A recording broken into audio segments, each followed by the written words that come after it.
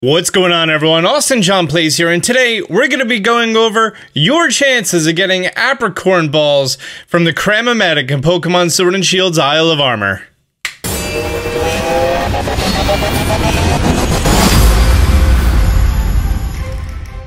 The, the main reason I did this video is because every once in a while on Twitter you'll see someone get a rare ball and when you try, you don't.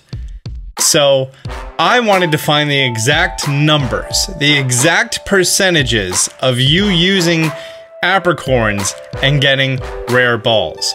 Because on Serebii and other sites, it just says the color, but not the percents. I did a lot of testing. This is about 28 hours of testing to find these numbers. And I'm going to share my findings with you. I'm sure you're all familiar with the Cram-O-Matic. It's located in the Isle of Armor, inside of the dojo. It's right on the right-hand side. You talk to the kid once, you give it a little bit of watts, and boom, you can put apricots in. Have I been saying apricots? Apricorns. Oh, I always got those two words mixed up. I don't know why. So first of all, the Cram-O-Matic has a lot of really useful combinations. Like if you put in three tiny mushrooms and any other item, you get a big mushroom. If you put in three nuggets and any other item, you get a big nugget. If you put in three star pieces and any item, you get a comet shard. If you put in three rare candies and any item, you get an ability capsule. If you put in three bottle caps and any item, you get a gold bottle cap. So, those are some great combinations for you to make other things with. And then there's a whole system based on an item's weight and the type of item categorized into Pokemon types. There's a whole read up on Serebii if you're looking for a specific item like a Flame Orb or something. I'm more or less going to be focusing only on the apricorn balls. That is what we are going after, only the apricorn balls, okay? And essentially, there's a whole bunch of balls that you can get from this. You can get regular Poke Great and Ultra balls. You can get the special balls, like the quick balls, the repeat balls, the luxury balls. You could also get the apricorn balls, also called the Kurt balls, also called the Johto balls. I'm going to be referring to them as apricorn balls for the sake of this video. Now, for all you youngins out there, in Generation Generation 2, there was a man named Kurt who could turn apricorns into special Pokeballs, right?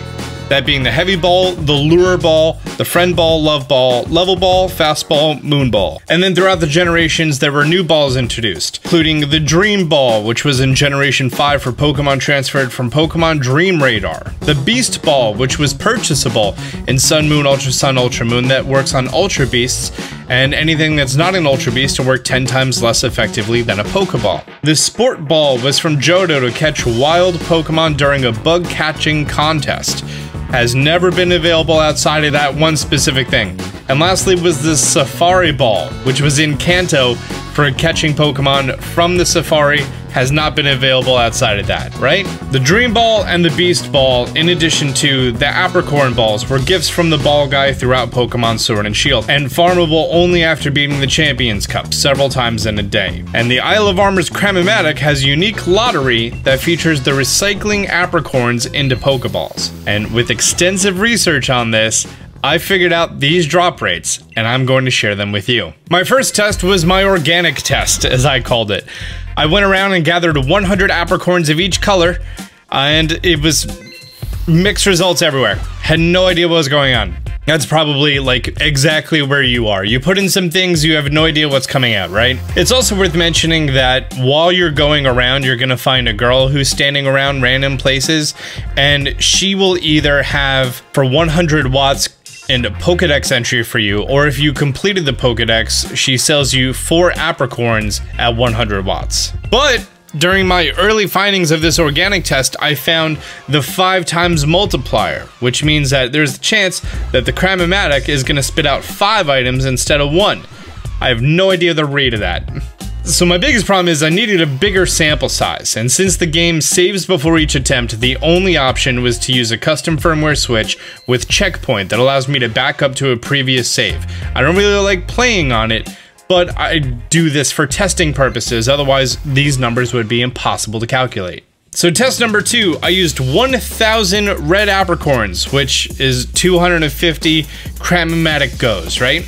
And I found some really interesting and consistent numbers, most important part being the consistent part, right? 22% of the balls were Pokeballs, 22% were Great Balls, 27% were Ultra Balls, 27% were the Repeat Ball, which is one of the unique balls, right? And 1.2% were the Level Balls, an Apricorn Ball. Probably the least exciting out of all the Apricorn Balls, right? So out of 250 goes at the Cram-O-Matic, I only got three level balls. By the way, when you do get yourself an apricorn ball, there's a special sound and a shiny glow that happens as it's coming out.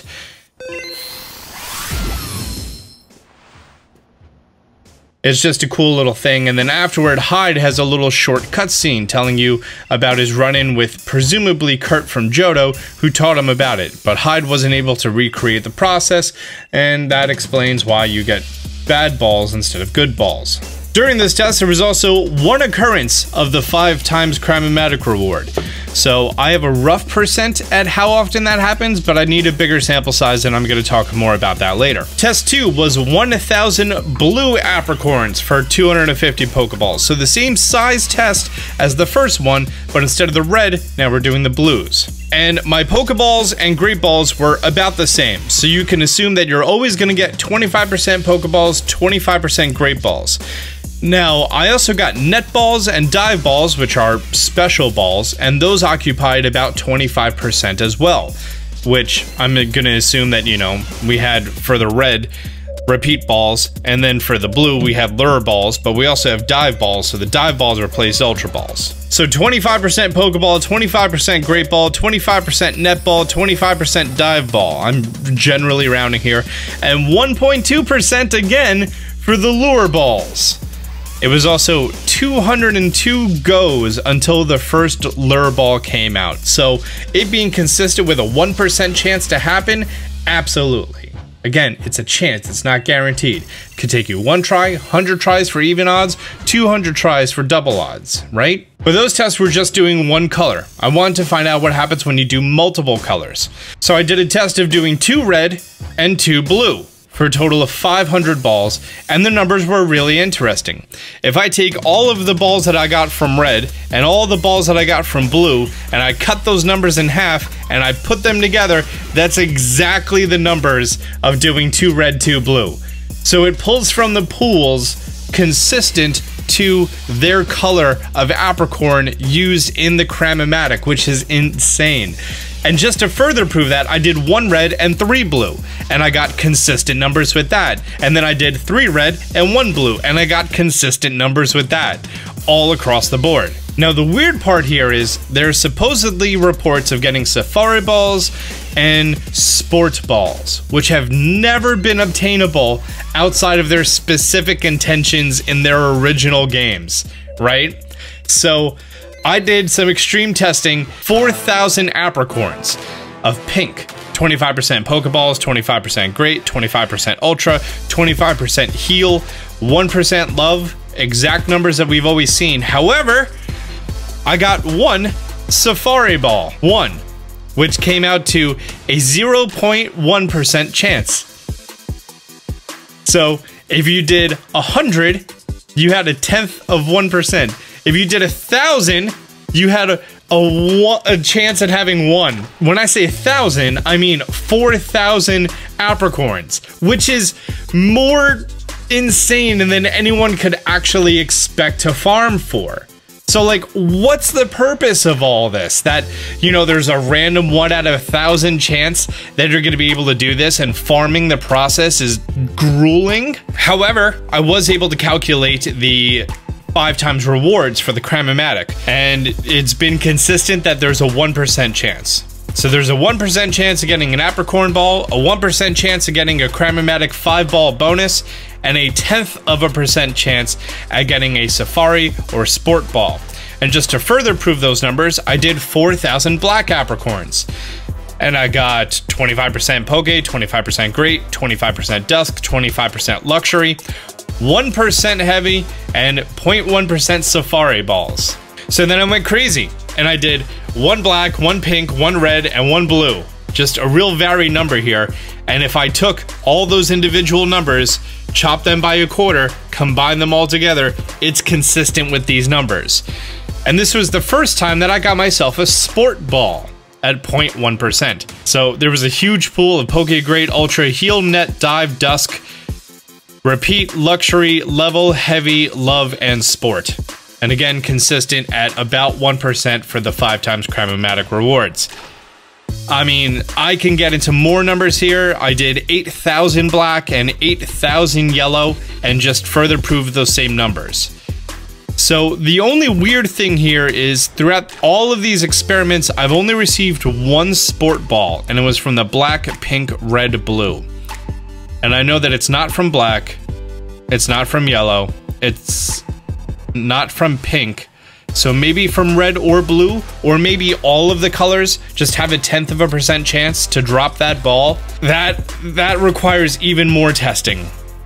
Even even more testing. By the way, for the testing, I've just been using my switch up to automatically click the A button in front of the Cram-O-Matic. That way it keeps doing the process over and over. And then I just note down the results at the end after clearing out all of my inventory. So like if I go to my balls now, boom, two Safari balls. And this was after 1,086 runs to get two Safari balls. So there's a good chance you will never ever find a Safari ball in your life. There's a one out of a thousand chance for a Safari or a Sport, and you should treasure that ball. Do keep in mind that completing a solo, non-promoted raid, you have a 100% chance to catch that Pokemon. So, just for poops and laughs, let's head over to this den over here. We have ourselves an Alakazam. So, Let's go for that. Let's beat this raid really fast. And with Alakazam down, we can now use the Safari Ball. Granted, you should probably use it on a Pokemon from the Safari Zone like Scyther, or get yourself a Shiny Scyther or Shiny Scizor or something like that. Although, I don't know the catch rate of this ball, because it hasn't been an available ball forever. So, no idea. Look at that camouflage ball. That's so weird to see. I'm mostly doing this because people wanted to see the animation when you throw the ball out. And I figured, you know, I can I can share that because there's a one out of a thousand chance that you're going to experience it yourself, you know? So here it is. Ooh, that was a that was a big musty coming out of his ball. And then let's just see what it looks like when you throw the ball. Oh yeah, the big green mustiness. Boom.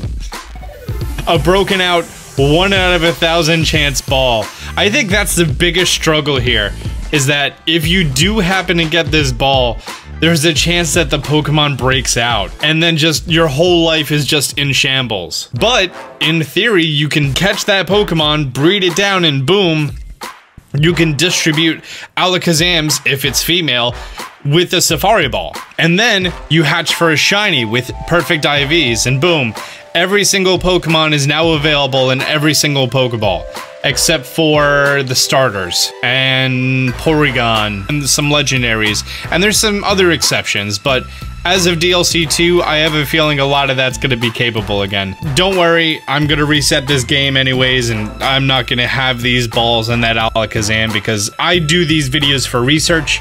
I don't do these videos for personal gain. This Switch means nothing to me other than just math that I can share with you. And that math being this. On screen is all the Pokeballs that you're gonna get for a specific color, your chance of getting them, your 1% chance at Apricorns, and your tenth of a percent chance at getting yourself the Safari and Sport Balls. Well, great. Guys, I hope you found this video helpful. If you did, leave a thumbs up button down below. If you're new to the channel, be sure to subscribe, turn on notifications. Until next time, Austin John out.